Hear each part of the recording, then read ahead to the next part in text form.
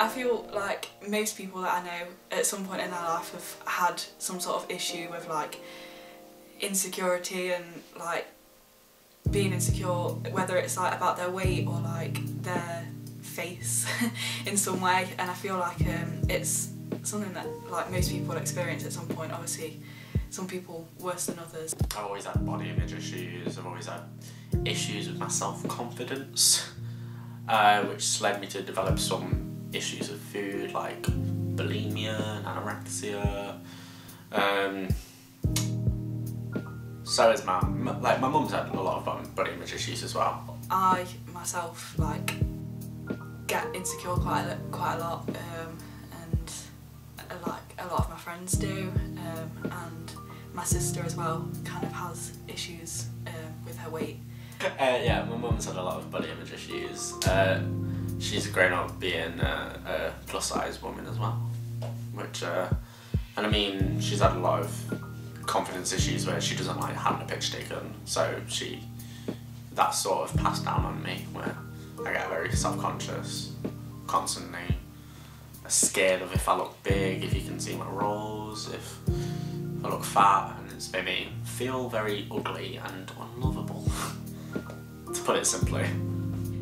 I think that social media does affect like the way we perceive ourselves because a lot of the time you see like photos of like models and stuff that are like really heavily edited um, and you like really compare yourself to them um, in a lot of ways. Um, and like I know for a fact that I do that.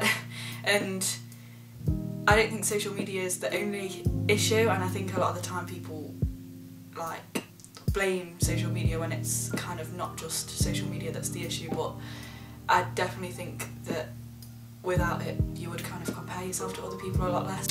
Yeah, there are a lot of extreme standards within body image. Like throughout like like um, history, you'd think that obviously it's always projected onto women, which it mainly was, yeah. But nowadays there's a, a lot more body image issues for men as well. Like guys, it's uh, it's a lot stressful for everyone. There's a lot of body image issues where you need the perfect waist or the perfect skin or whatever, but I feel like social media has had the impact where the main kind of the main kind of person which is valued and seen as like perfect is someone who's very slim rich or they have nice hair like in younger generations and a lot of young people, there's definitely kind of a lot more body positivity, like surrounding plus size people and things like that. But at the same time, it is still stigmatized and it is still an issue. And I think the standards, we like to think that they're less extreme, but a lot of the time they're actually not. What's the question then? How would you define beauty? Shit, I don't know. How would I define beauty? The way you put yourself into world, into the world and what you contribute to it. If you put in positive positivity and like love for all, then that's beautiful. That's a wonderful thing. And like if you put in negativity or hatred and bigotry, you're an ugly motherfucker. Uh,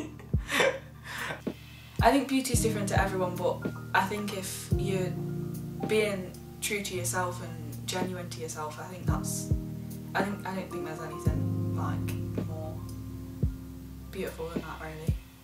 and obviously it's confidence. Confidence is a huge part in it. If you're confident in yourself, then people will see the beauty that you have. We say it's like it's it's not just skin deep; it's inside.